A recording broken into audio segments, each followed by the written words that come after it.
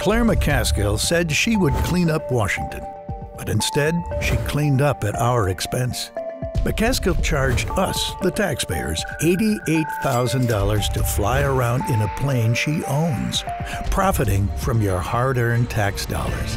She even billed us for flying to a political event in direct violation of ethics rules. McCaskill tried to cover it up, but it wasn't until she was caught red handed that she agreed to give the money back. I want to be held accountable. I expect to be held accountable. But there's more. McCaskill voted to raise your taxes, but then didn't pay her own. She failed to pay more than $287,000 in taxes on her own plane. Incredible. You said it yourself, Senator. If my walk doesn't match my talk, uh, then shame on me and don't ever vote for me again. Vote for me again. Vote for me again. Fortunately, we have a better choice. Conservative Republican Sarah Steelman for Senate.